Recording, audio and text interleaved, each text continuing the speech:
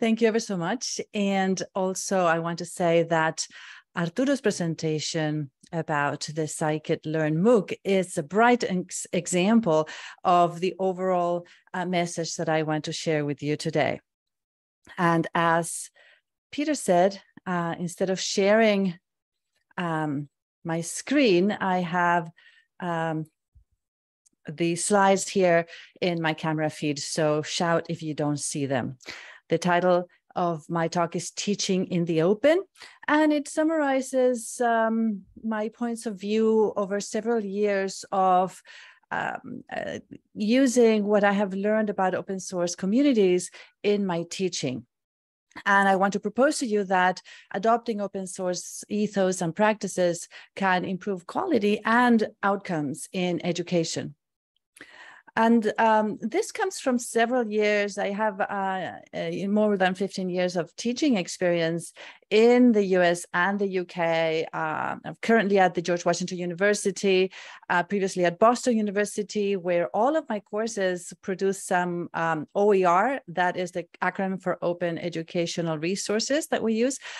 And I shared uh, these in the, what was um, uh, popular at the time, iTunes U, um, then started using YouTube, TED Ed, and various uh, platforms that were uh, popping up at the time. Then moved um, to GitHub, and uh, also had a still have a self-hosted open edX site, and I've disseminated all this activity on Twitter and and my my online presence.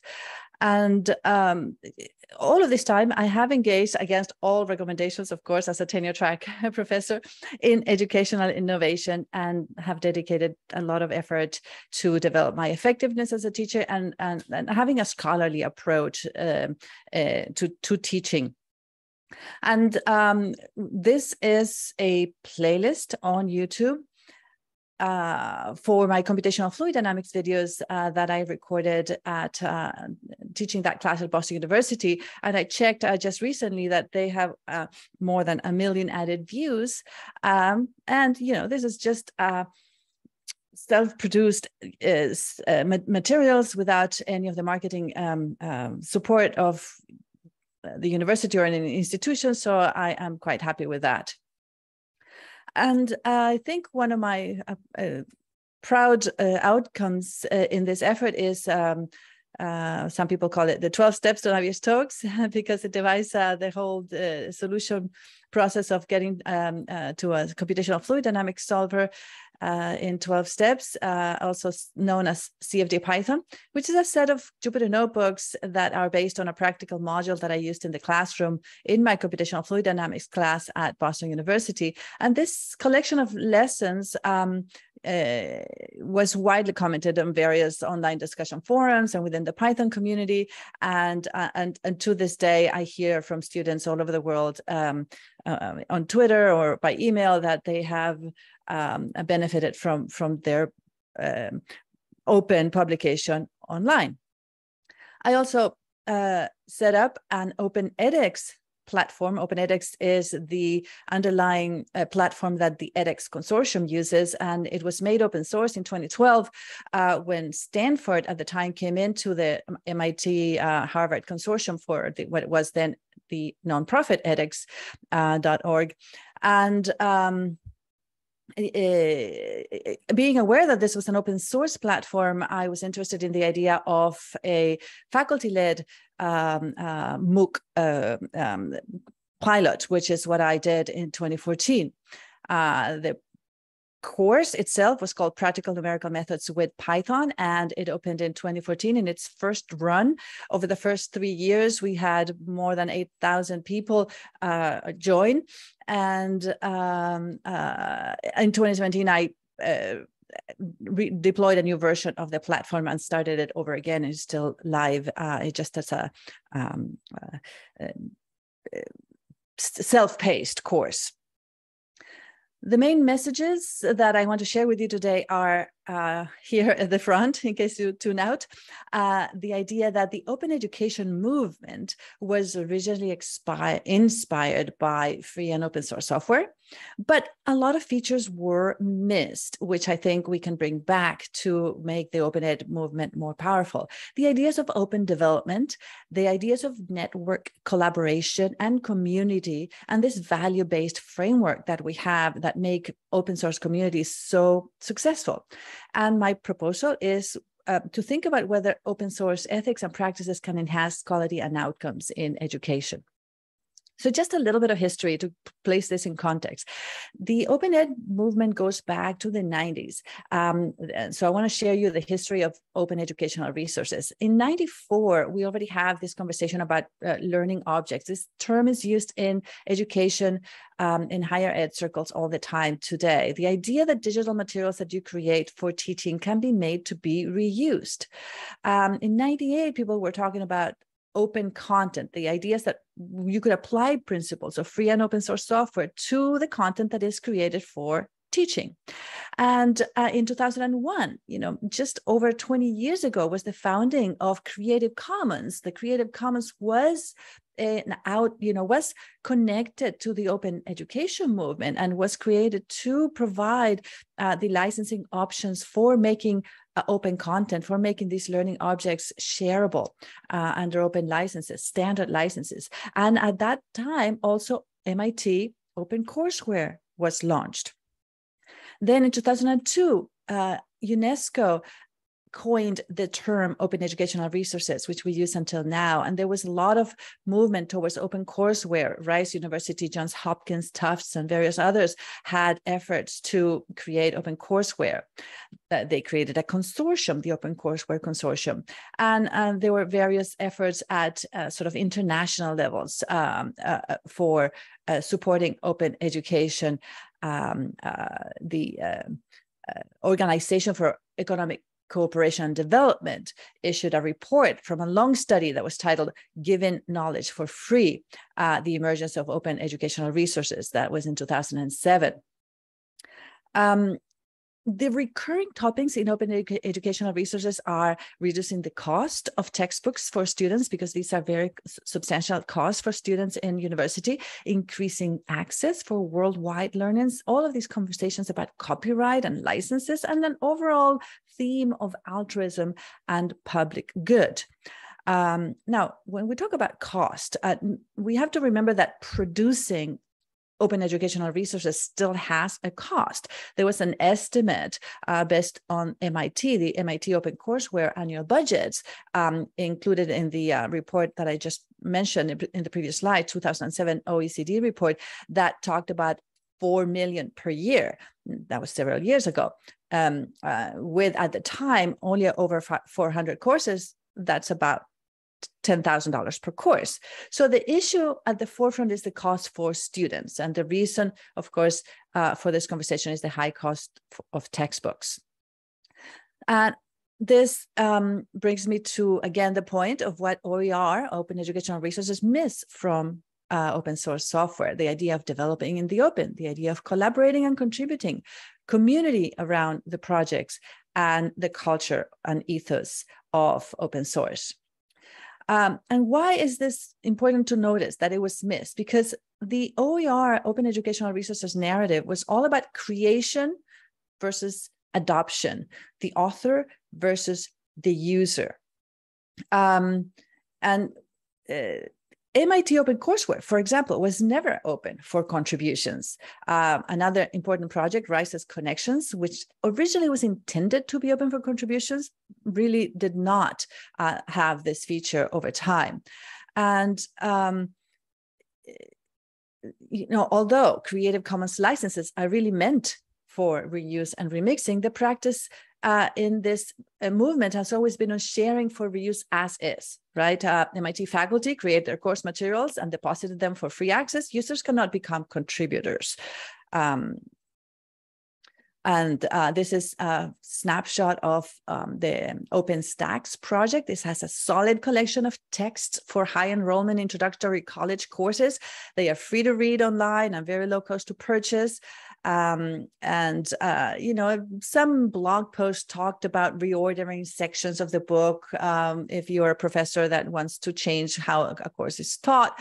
But really, um, uh, revising books is not a, a, a true option. That the, the, the, workflow only allowed for revising when you know pedagogically necessary to do so, and you can submit errata, but you know they had to be reviewed by subject matter experts and so on. So the model is clearly a traditional, authored, centered one. Um, and so this leads us to a problem. Uh, in in a talk uh, on the role of open educational resources. Um, Stephen Downes, who is a noted uh, philosopher uh, in Canada, uh, he said that we create huge amounts of OER, but, re- but there is very little reuse. He says that the people who benefit the most from OER, open educational resources, are those who create them. So the thing is, we can't really produce knowledge for people. And that's why OER are not transformative. The only sustainable OER are produced by the learners themselves, says Stephen Down. Um, and here is uh, another quote that really hits uh, the nail on the head. This is from a recent short video discussing the importance of openness and the role it plays in knowledge, communication, and learning. Stephen Down says this openness is about the possibilities of communicating with other people. It's not about stuff, what you do with stuff, it's about what you do with each other. And he's hinting here at a key social interactions that make learning meaningful for all of us. So this brings me to the idea of teaching in the open. Uh, of course, in the open source software communities, we, develop in the open, we use GitHub and all the collaborative tools uh, around this. Uh, I want to highlight uh, open book that we created on a book sprint with some like-minded folks um, called Jupyter for Teaching. Jupyter, of course, is one of my favorite tools for creating educational materials in this day and age. And um, uh, what we uh, are advocating is always that we create these uh, learning objects to publish them and they are made to be reused. And um, it, one important um, concept here is if they're meant to be used, they have to be uh, come with an open source license. And um, really open source licenses are an incredible innovation because they allow people to coordinate the work freely within the confines of copyright law, but we make access and wide distribution a priority. And here, coordinate is a key word. We coordinate our work in a network of collaborators. And this coordination in this coordination technology really plays a crucial role and um, both in open education as it does in open source software. Uh, the idea that people can coordinate their actions through online platforms, meaning we can improve our communication and we can work more effectively together. Open source culture has more to offer um, uh, than uh, just the licensing model. Um, it, it, it has this idea of uh, productive uh, freedom uh, to collaborate. And it also has it, embedded rituals of collaboration that allow groups of people to create tremendous value together so for example if you know uh, we engage in um, uh, creating forks and making changes and delivering a, a pull request um, um, there is a coordination that everybody knows how to behave in and like a dance move of how to act to produce to take that into improving the materials whether it be by accepting the pull request or asking for changes to the pull request or reject the pull request saying why it may perhaps does not abide by style guides or, or various other um, um, community policies. When we have GitHub issues and we use them constructively over time, the idea is that the project improves in quality. So why do we care about this? Why open education is important? And here um, I like to look at this from the point of connectivism, connectivism as a learning um, science, learning science perspective, um, the network-based pedagogy, um, which explains that uh, open teaching and learning practices actively promote rich networks and lively communities and fertile connections. And this leads to improved learning. That's the pedagogy of openness. So openness serves a pedagogical purpose. Learning is richer by open sharing. And there's value in this coordination. The model of open source culture is that we create value together, fostering innovation and leadership. And so it's important to think about openness in education, serving this purpose.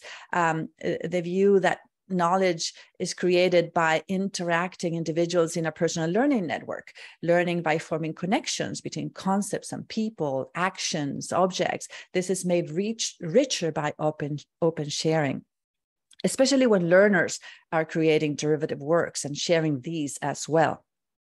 So open source software communities have really shown us how the coordinated labor of many sharing their products freely produces this the great advances in technology. Uh, Scikit-learn is ex an exact uh, example of this. Over many years, uh, many coordinated their labor, creating a technology that can uh, empower a whole community to be more productive. So incorporating open source culture into education has this added bonus of building skills for effectively working in teams and promoting leadership, in my opinion. So I told you about this self-produced indie uh, MOOC, Massive Open uh, online course. And when I developed this idea in the summer of 2014, one of its key design features was that it was meant from the start to be a collaboration. I had three other instructors in other parts of the world that uh, I discussed the plans uh, with, and they agreed to contribute to the materials. And they were going to teach a course at their university that was going to be aligned um, with this uh, new syllabus, a new set of contents we created. The materials were all written on GitHub, open in an open development process, and we used open source methods to receive reviews, suggestions, and sometimes contributions. And as open source projects go, it has a decent following. Uh, GitHub reports that the repository has 22 contributors. Uh, you don't see there because my camera is on top, but 760 something uh, stars, um, 1.5K forks. And, you know, for a um, first year graduate course in um, engineering computations, uh, I think that's pretty good without having, you know, any uh, marketing support from any institutions. It's just a grassroots effort. Um, and of course, the main uh, contributors out of the 22 are myself and my co-author graduate students, of course, but other instructors have made contributions over time.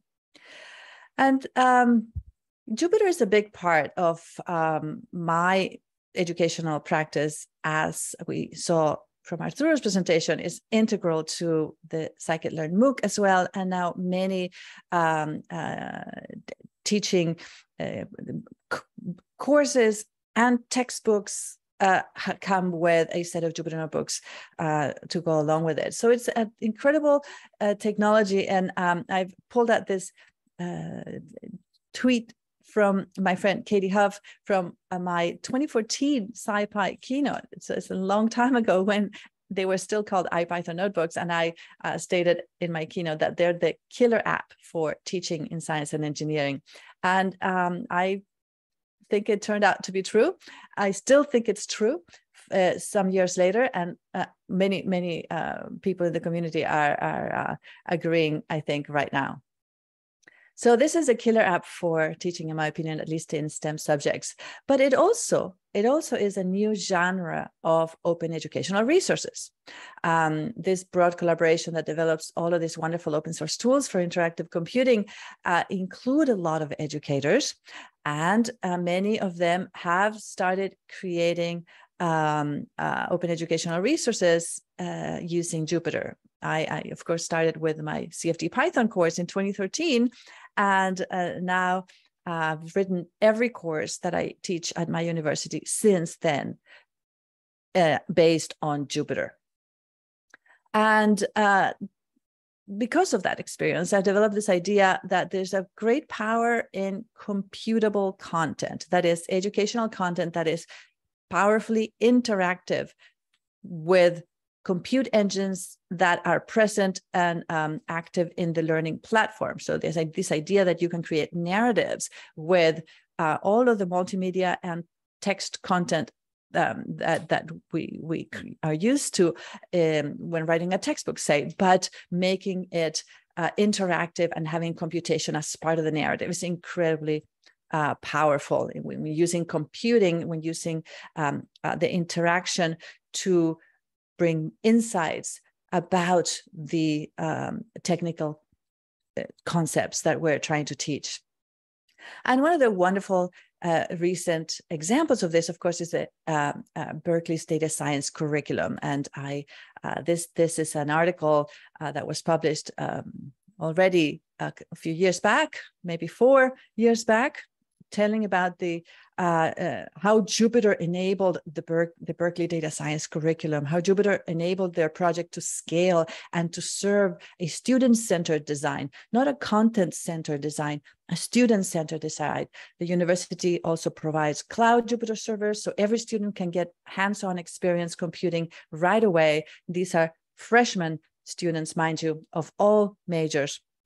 And um, uh, subjects like data science are uh, being uh, presented to to all students now, creating citizens that are informed on about technologies that are now uh, infused in all aspects of our life.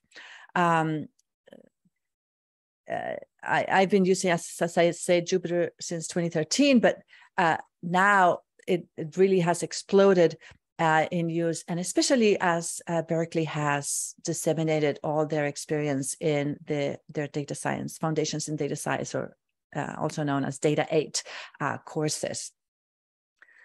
Um, I uh, also started in um, uh, a few years back, just I think 20, um, 2019, I believe, uh, a set of uh, new uh, uh, courses that I teach at my university, George Washington University, but they're, they're developed with the same format. It's Jupyter based. All of the materials are written uh, as um, in the open, but there are also some other features that are injected to make this easier to be adopted by other instructors to make reuse easier. And we apply the same type of design uh, features that we use in software, modular design. So chunking things up into smaller modules that other instructors can adopt without uh, changing their whole course. Perhaps they can adopt in a few weeks' time, um, making these modules uh, stackable in some way and sort of unbundling the course into smaller units so that in the online uh, uh, world, uh, we can create a sense of um, achievement in a shorter period of time because as we've talked about in an online format uh, you know this idea of a 12 or 14 week course is uh, much harder to maintain uh, the attention of your audience. And so breaking things down is is key modular design. Um, and i invite you to look at our GitHub org and, uh, and, and, comment if you, if you wish, or adopt any of these open materials, um, uh, understanding that these are not for machine learning. These are uh, foundational uh, uh, materials for freshman engineer, engineering or science students across the board. But um, the one important aspect of all of this vision is that you can also uh, you know if you're building your teaching materials to be reused and you're developing in the open and you're investing this um, uh, this um, time and effort then we also want to have an avenue for publishing um, uh, these uh, products of, of our scholarly endeavor. So uh, we created the Journal of Open Source Education for that purpose. Uh, the Journal of Open Source Education, JOSE, is a sibling journal of the Journal of Open Source Software, which I hope you're familiar with. And um, uh, JOSS um, publishes open research software, and JOSE relies on all the same design of JOSS and the same journal management infrastructure um, and all the tools developed for JOSS and um, uh, offers a venue to publish two types of articles that describe either open educational software tools and open source educational materials. Um, we originally target open educational materials in technical uh, courses or technical uh, uh, topics that particularly those that use computing embedded in the curriculum and one of the um, vision uh, slogans we had early on is this idea of not we just we, we're not publishing about uh, courses that are for learning to code but courses that use coding to learn. The idea that you can use computing as a vehicle to bring insight into um, science and engineering topics and uh, this journal is a response to the fact that currently academia really lacks a mechanism for crediting efforts to develop either software that assists on teaching and learning. So, for example, autograders or things like that, and uh, open source educational content. So, uh, beyond personal motivation, there's sometimes little incentive to develop and share such material um, you know, open source materials such as Jupyter notebooks or plain text markup, language documents, R Markdown, or or any uh, type of course or lesson content that is uh, uh, meant to be reused and is uh, ready to be adopted by others. Uh, so we think about the types of objects that can be incrementally and collaboratively improved. So that's why we focus on Jupyter Notebooks, Markdown, and that kind of content that can be version control, can be developed in the open. Uh, not suitable for this are slides, or YouTube videos because you can't really contribute to a YouTube video to improve it. It's very hard to change and improve a slide and tweak it to improve it as well, a slide deck. You know, you, those are meant to be consumed as they are. Um, so that's something to keep in mind about videos, right? We sometimes use a lot of videos on MOOCs. The videos are like a static snapshot of um, what you thought was needed to be presented in a lesson at that point in time. Whereas uh, open source educational content should adopt this idea of constant uh, community improvement. Um, and we are particularly fond of those that are have some code, right? That use code to teach um, uh, in technical subjects. And from my experience over the over the this time, I have a few um, uh, ideas of kind of key um, characteristics that one can adopt in, in these efforts. Uh, first of all, uh, like in software, we want to break complex um, uh, ecosystems of ideas into smaller digestible uh, steps or chunks. Um, uh, uh, the, the idea of chunking, actually, the chunking is a technical word in learning science, right? From cognitive science, uh, it has to do with uh, the number of in, in, independent um, uh, ideas that we can keep in our working memory at one time. Um, but it's used uh, in design, in learning design, uh, for uh, both breaking things down into smaller digestible pieces and then building up those chunks into uh, um, uh, puzzles, if you wish, of ideas coming together to form a bigger picture. Um, so when you're trying to teach something like, you know, some machine learning topic, I, I think this is very useful. Uh, to start with breaking things down, chunking them into a bigger picture, and then adding the narrative, adding, connecting to uh, real life at that point and authentic uh, things that connect to the learner's experience.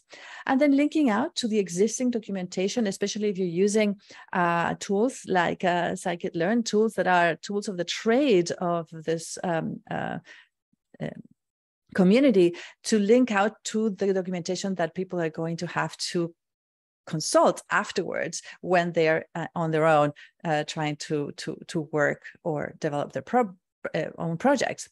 Um, it's always good to interleave as people go uh, through a um, um, a lesson, as uh, also related from their uh, scikit-learn MOOC, interleave exercises so people can stop and um, retrieve uh, from their memory something that they've just seen and apply it. Always also good to spice with challenging questions for the more advanced people and to have a, a moment to uh, uh, um, make students inspired. And of course, publish everything openly online. And um, from the scope of JOSE, I, I, wanted to point out to our documentation uh, to invite you to uh, look into submitting your work. We are in a lot of need of support for reviewing as well. So uh, over the COVID times, we were uh, very slow because everybody was um, uh, a little burned out and uh, having low bandwidth for a fully volunteer effort such as this. And so if you want to um, uh, volunteer as a reviewer, reviewer pl please uh, visit our website and, and do so. We have a sign up sheet. And um, if you want to submit, the scope includes two types of submission. And what we mean by open source educational materials, as I explained previously, is um, materials that can be improved and can be developed in the open, um, uh, say on GitHub or a similar platform. And uh, it does not include YouTube videos, but these can be, of course, supplementary materials to, to such um, submissions. And the software submissions usually have to do with educational technology, for example, um, uh, cloud system for lesson delivery, and, and collaboration tools. And we've even had some uh, uh,